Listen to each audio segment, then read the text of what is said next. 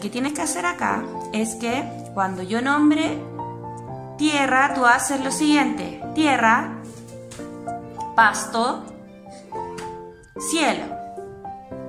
Y si yo te nombro pasto, ¿qué haces tú? Tierra y cielo. Perfecto. Cielo. Tierra. Pasto. Cielo. Cielo. Cielo. Tierra. Tierra. Tierra. Tierra. Excelente.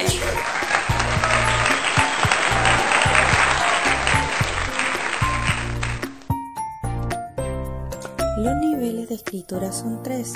Cielo, el más alto, pasto, que es el nivel del centro, y la tierra, nivel bajo. Sirven para ubicar las letras desde su punto de inicio hasta su final, en el espacio que las líneas del cuaderno tienen. Cada letra tiene niveles de escritura diferentes.